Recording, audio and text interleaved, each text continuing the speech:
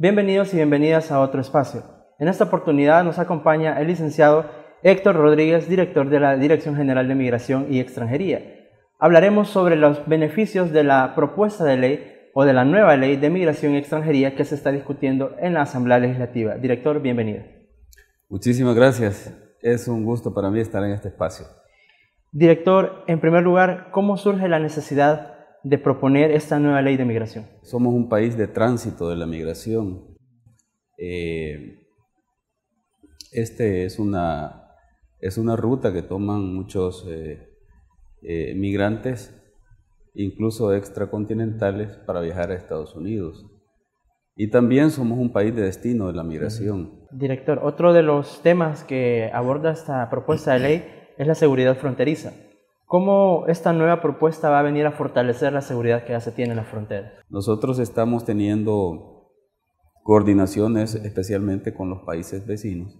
Ya se habla en la nueva ley de fronteras integradas, es decir, que ambas delegaciones, por ejemplo Guatemala o Honduras, con El Salvador, podamos tener eh, conexión en nuestros sistemas y podamos compartir la misma información. Esto ayuda en el, tema de seguridad, pero también ayuda para agilizar los trámites eh, de control migratorio que se realizan especialmente con los turistas. Es, decir, este sería un beneficio para los turistas. Por otro lado, eh, también el uso de la, tecnología nos permite asegurarnos eh, en el tema de pasaporte que la persona a quien le estamos otorgando el pasaporte cumpla con todos los requisitos o que la persona que se presenta a un punto migratorio con su pasaporte sea realmente la persona portadora. ¿Cómo también esta ley, porque entiendo que han tomado en cuenta el combate a la trata de personas, pero ¿qué mecanismos utilizaría la ley para combatirla directamente? Como migración, eh, con la presencia de nuestros oficiales, podemos contribuir a identificar al momento de salir por las fronteras eh, quienes pudieran estar cometiendo un delito de, trata de personas, quienes pudieran estar llevando niños, niñas o adolescentes sin autorización, sin consentimiento de sus padres o engañándolos de alguna manera para podérselos entregar a otros delincuentes eh, ya fuera de nuestra, de nuestra región y eh, ser víctimas de este delito de, trata de personas. El, eh, el registro de huellas digitales es importantísimo eh, poder utilizarlo, ¿verdad? Ya lo estamos eh, utilizando y, y, lo vamos a seguir eh, perfeccionando.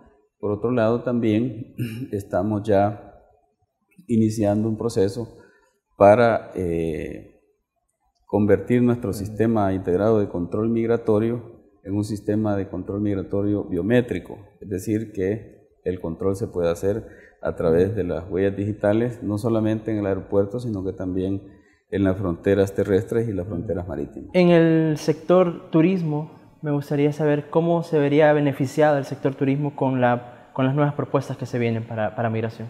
Por ejemplo, con nuestros vecinos, con Guatemala y Honduras.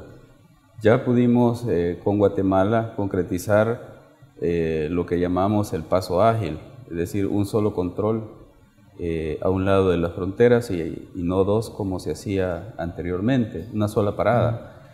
Es decir, nuestros sistemas con Guatemala ya están enlazados y eh, el control que nosotros hacemos le llega automáticamente a Guatemala y viceversa. Eso mismo vamos a iniciar ya con Honduras y esperamos ya para las vacaciones de, de diciembre poder anunciar que también con Honduras eh, tenemos una sola parada y eso va a beneficiar eh, al turismo, tanto de los que salen eh, del país como los que, como los que ingresan. Por otro lado, también estamos mejorando nuestros sistemas en el aeropuerto para que sea mucho más ágil el, el control migratorio.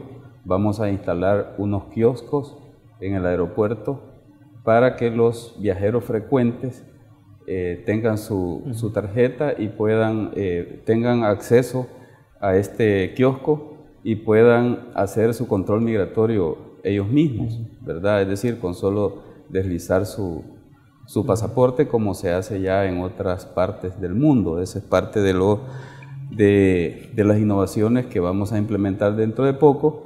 También los lectores portátiles en las fronteras terrestres. Con respecto a los negocios y a las empresas, ¿cómo este, esta nueva propuesta va a beneficiar el caso de la agilización de los procesos aduanales? Bueno, eh, como decía anteriormente, las personas que quieren venir a hacer negocios al país eh, actualmente ingresan como turistas. Y para poder hacer una actividad comercial tienen que solicitar una residencia. Y eso, y eso para ellos es un trámite muy engorroso. Con la nueva ley van a poder tener una visa de negocios eh, sin mayor trámite, es decir, con la copia de sus documentos que nos lo pueden enviar desde su país de origen y también con una carta de respaldo, ya sea de Proesa, que es eh, quien promueve las inversiones en el país, o ya sea de una empresa o una institución, con el respaldo, eh, nosotros podemos otorgarle una, fácilmente una visa de negocios para que pueda entrar y salir del país por un año. Ok, muchísimas gracias, director, por su tiempo. Gracias por, por habernos recibido en su despacho. Y a ustedes muchísimas gracias por su atención. Nos esperamos en una nueva edición de Otro Espacio.